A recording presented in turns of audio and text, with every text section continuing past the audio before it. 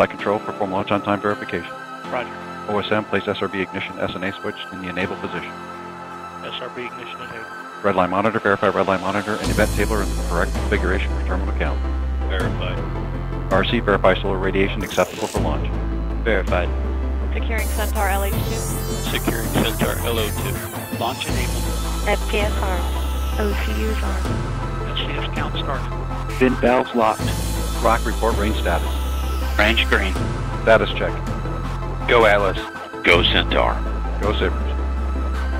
Three, two, one.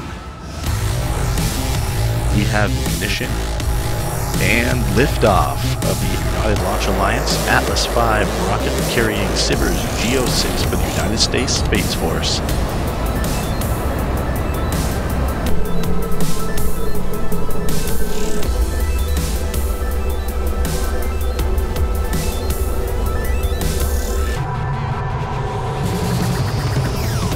The tower and is beginning to pitch yaw roll maneuvers.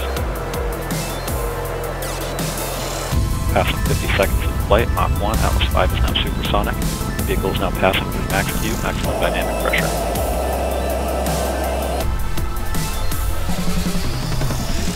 And we have indication of jettison of both SRBs. And we have good indication of payload fairing jettison.